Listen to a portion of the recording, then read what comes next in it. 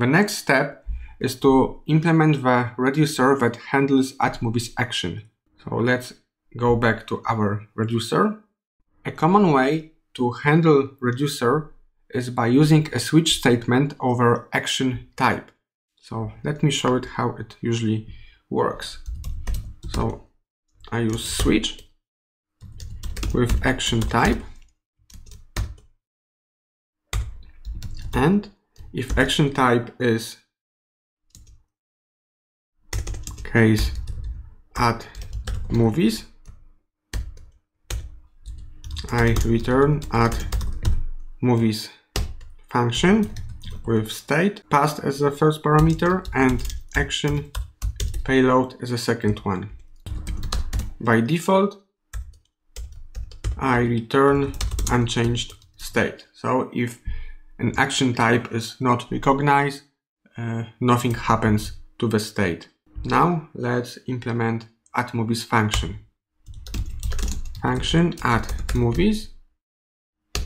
So just as we called it here. So first is state and then payload object. Payload is an object that contains a single properties movies. So I can use destructuring and have it here directly.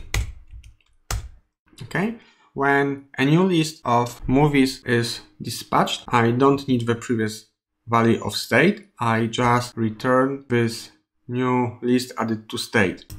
I return movies and I will pick also only several properties from movies. If I go to mock movies, we've got title, year, ID, type, poster. But in fact, I really need title, poster, and ID. So let's pick only these relevant attributes. And I'm doing it with the map function. So title is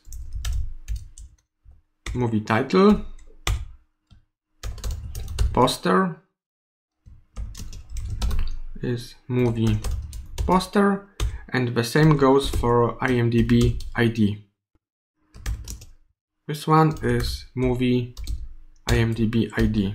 The last thing to do is setting the proper value for initial state. We don't need the mock movies anymore, so the initial value will be just an empty array. When I remove mock movies from import, it still works. This is because our movies reducer handles action properly and sets a new value of the state when an array containing movies is dispatched. Congratulations, well done!